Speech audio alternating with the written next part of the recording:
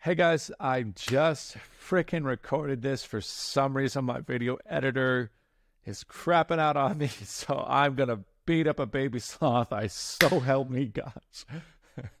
um, jokes aside, jokes aside, I, I'm gonna teach you guys how to deploy um, to the Amoy testnet today, and really this concept came up because I just did a Polygon um, build. And if you hadn't checked that video out, it's a messaging dApp. Uh, give that a check. It's still all same deal. Just instead of deploying on Mumbai, you want to deploy on Amoy.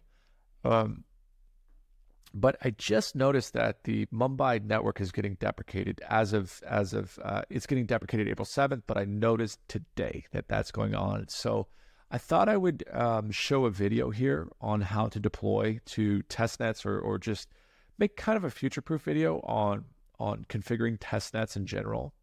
So that way, that way, most people aren't like, oh, well, it doesn't work with Mumbai. So how do I do this with Sepolia or Goerli or or whichever testnet, or maybe Amoy will get deprecated in the future.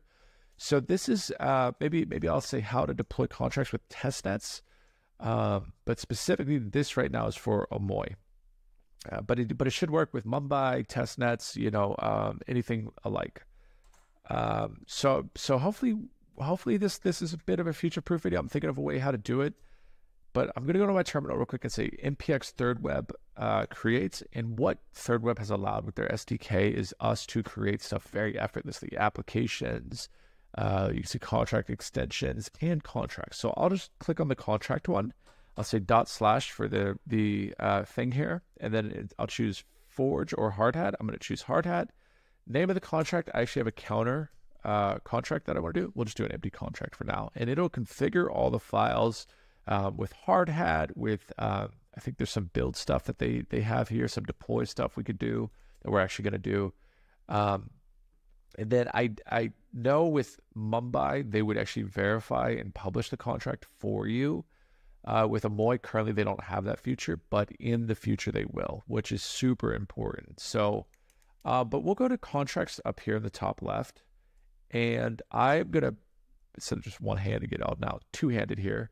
I I have a um, contract that I've pasted in here or copied and had had in my copy that I'll just paste in here, but but long story short, maybe actually I'll just build it with you guys real quick. So we'll just say contract. Um, let's let's build it as a counter or whatever we need. And um, I, I don't want my copilot to to be up right now. So so I just want to chat with you guys. A little mono y mono, a little uno uno pour toi. I don't even, I don't even know if that's French for anything, but but but I figured I'd chat. You know, uh, so so I'm, I'm I've downgraded to an old version of Solidity on this just to make sure that this works uh, using the MIT license. And a contract is basically just a class uh, within within object-oriented programming. So so let's define a address uh, variable. Um, we'll we'll have a basic uh, maybe event or something to say the count has gone up, and then um, we'll return the count. We'll, we'll just do a counter contract, or we can do something different as well. I just had it in the pocket. Like I said, I did it right before this. The video didn't work, so I want to punch a baby sloth, but uh, yeah, so so let's let's not do that. Um, I'll just make a a um, variable here. You can see it. Copilot's helping me with the address public deployer, and I want to do a constructor where on construction, um, all all this constructor function does is it it just gets fired off whenever the contract is built. So it's just like a one time function that it, it's literally a function, no different than other functions, and it just gets fired off on uh, on build on basically mount of the the uh, contract the, the class if you will onto a server um, is, is roughly what's going on. So so let's set the deployer variable that we just made to the msg.sender and this msg.sender this is that msg variable that we have access to. You can see we get the signature the gas the data the value this MSG uh, bit is uh, one. It's part of pho, which is absolutely delicious. It's part part of you know kind of that Eastern Chinese food. It's it's really a Vietnamese food. It's delicious as ever. It's a good good thing. It's it's dangerous for you, but but it's good. Uh, but in blockchain world, it's it's also really good for for uh, just having access to who's sending what to the contract. So if I want to access the wei or the ETH value or the native currency value. Um, I could just say MSG.value of whoever's sending that stuff. Um, likewise with the gas, the signature, all that stuff. So it says first four bytes of a call data. Sweet. Look at that. Um, so we get the call data here. So that's fun. But we're just going to use the sender, which is going to be the um, the actual address of who's deploying this contract, um, which will be my address. So let's build a function of count up, and we'll make it a view uh, external function. So external and public. And all it will do, it'll just change the count. Oh, and I didn't, I actually didn't make a count variable. We will need to do that. So I'll say uint count. Uh, we'll make it 256 as well and we see it's a public external. So I'll say returns a uh, uint 256. Actually, do I need to return it? Does this, do I need to do that? Technically, if I'm mutating it, do I need to, uh, whatever. Anyway, and then we'll also do a git count variable. So this will just return the actual uh, perfect external view. Uh, and it, it's just going to return the count. So we just have we just have a query and a mutation um, happening. Nothing too complicated. Uh, and um, and that's it. And and obviously for for your guys' contracts, I imagine with much more functionality, much more things that you want to build. But just to give the idea of querying and mutating data, here we go. Um, and maybe one other tidbit I, I want to add is just an event. So we'll say uh, count uh, counter incremented. Sure, that'll work and then we'll need to um, emit that event. So we'll do that, and then we can even do an event for counter uh, uh, fetched or something, and we'll actually emit that here. Oops, not that. We'll emit that event here. So just so we can see uh, that these these events are happening. Oh, this is not uh, publicly accessible. So how how can I do this? I'll have to pass in the count okay, we just won't emit event there. Bucket, you know what I mean? Bucket, just keep it easy. Um, so so this is this is all we need right right at this point. And what I could do, pop open my terminal and I'll say npx thirdweb deploy. And we'll see, we'll get all these configurations. And if this is your first time doing it, it'll take you to thirdweb. It'll make you make an account and kind of configure that stuff. Um, but if you already got one, boom, right here. This is what it'll pop up with you. This is it trying to deploy, and it's it's asking which network and chain are you trying to deploy to. Um, you can see right now I've already pre-selected Mumbai. It's just because my wallet's on Mumbai. Um, but we actually want to go to Amoy because it's Mumbai is going to be deprecated. So over here it'll say allow this site to switch to this network, and we'll switch to this network, and we no longer get that deprecation message, which is awesome and we can go ahead and deploy. Now, if you don't have this, totally no sweat because it may, and I'm not sure on the or- order of this, but you may need to add Polygon Amoy's testnet to your deal. So um, let's do that. So we'll say Polygon um, Amoy testnet real quick. And there's an article on it by Polygon, polygon.technology. Guys, I'm always a pro, proactive or proponent um, someone who's always vocal about using the blue standard things, like the blue blue chips of things, like use thirdweb. Do not use some sketchy Discord message that's like, here's the RPC for this network. Don't do that. Use like the real, directly from Polygon. Here you go. You know, um, but it's going to give you all the network configurations if you scroll down right here. If we go to our our MetaMask top left, we can we can configure the network we need. If we need to add a network, click add a network, click add a network manually, and this is where you just pop in um, right here, boom, Polygon testnet right here like that. If you need to use the RPC, there's the verified one right there Polygon's technology. Um, we need chain ID 80002. Um, so so we have all that stuff right here. Here's the symbol for it. Just just walk down the steps, right? In the Block Explorer, you don't have to add it, but here it is. Keeps it easy for you. Um, boom, there it is. And I've already got this configured, so I think that's why it's throwing me this error. But um, for you, it should just say, hey, this is the this is currently used by the Polygon Amoy testnet. Boom, perfect. So maybe that's already, I, I, think that's definitely already configured in my wallet as it is right here. Boom, there it is. So that's why I'm getting the error, but you likely will not. So add that network to your MetaMask and you should be off to the races. Um, I'm going to close out of MetaMask and I'm going to close out of the Polygon technology. So if that didn't pop up for you right here, or you have configurations issues for adding it to your MetaMask, that's how to do it. I'll go ahead and deploy. Oh, oh, one other bit. You need some Polygon Amoy Matic. So before I deploy, let me let me just keep that here for a sec. We want to go to Polygon Amoy testnet faucet, right? and here we have a Polygon technology again, their faucet. Uh, wait, where is it? Polygon faucet.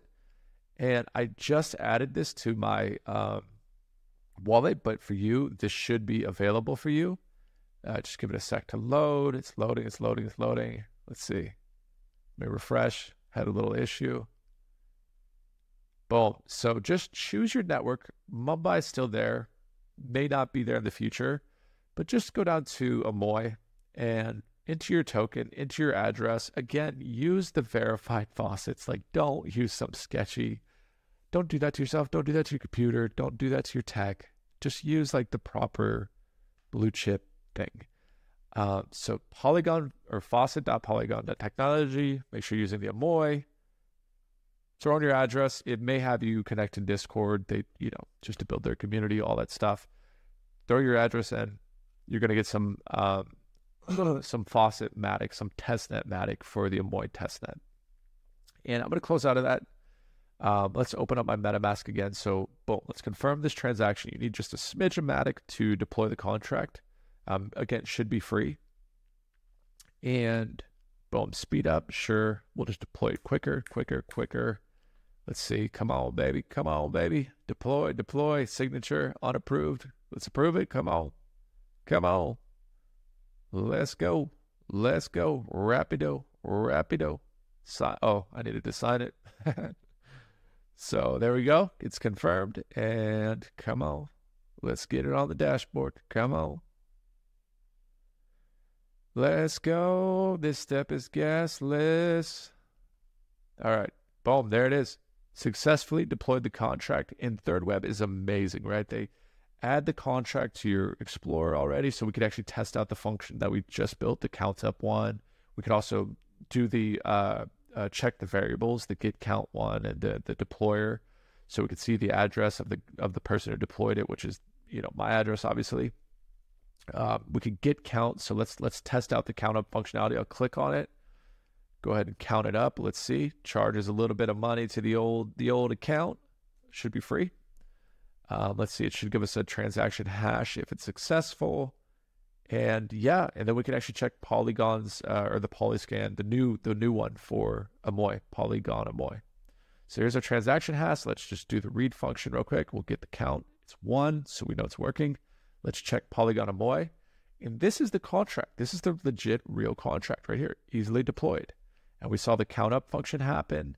Um, now, typically, typically, Thirdweb um, does verify and publish your contract for you. You're gonna have to go through that if you if you want your contract audited. You want to make sure it's a public facing proper contract. Make sure to verify the contract. Um, to be transparent, I haven't fully fleshed out with a um, with Amoy. I think it's just because of how I compile it. I, I'm not sure the compiling the compilation version with here. I think it's I think it's 819. So we could try live real quick. Let me just pull in the contract real quick. So we say contract source code. Boom, here it is. Um, library. We're not really using any libraries. I think we're using the MIT license. We are. So I'll submit it. Let's try. Hopefully it goes through but I'm not sure which compilation version I'm using. Contract verification failed. Yeah. So, um, but again, probably in a week or so, you may not need to worry about verifying your contract if you're deploying through Thirdweb. They should handle that out of the box for you. Not a problem. Uh, but that is literally how to deploy a contract. This is a live thing. So now, if you need to, um, uh, let me let me get this contract again, or go to go to Polygon Amoy's Block Explorer. If you need to um, now integrate Web3 or uh, some Ethers JS library, this is a live testnet contract. So if you want to pull in these functions, these mutations and queries from here or or link up your contract now to your front end, this is all all up and running. You just get your contract address and um, and get to work. You know, and ThirdWeb has an amazing SDK library for all of that. So um, I will make a video on that, but this is a live contract that we just deployed in what 15 minutes, and um, yeah, we have we have Polygon Matic Amoy uh, Mumbai or Amoy Matic, excuse me, not not Mumbai. We have Polygon Amoy Matic. That is kind of a tongue twister. Um, and yeah, and the contract is deployed. We could check it out, see the event logs. The count up function was was working great. Uh, we could we could write more if we want. Get the transaction hash. It's just great. You know, uh, ThirdWeb makes it effortless. Super easy. Um, I do want to make a video on how to deploy on Remix, but I know you cannot deploy to Remix as of today to Amoy. Um, you can do it to Mumbai, but so or other test nets, obviously. So I'll I'll uh, probably do a video for for one of those. Uh, but I did just want to show how to deploy contracts on the Amoy testnet, guys. Um, thank you so much for watching. I hope I hope this was was an easy learn, a fun one, just a simple, straightforward. Hey, do this, do this, boom, boom, boom. Uh, yeah, we'd love to hear from you. So so write something in the comments on what you want to see next, blockchain wise, Web three wise. Uh, would love to offload any knowledge I have. So thank you guys so much. Cheers.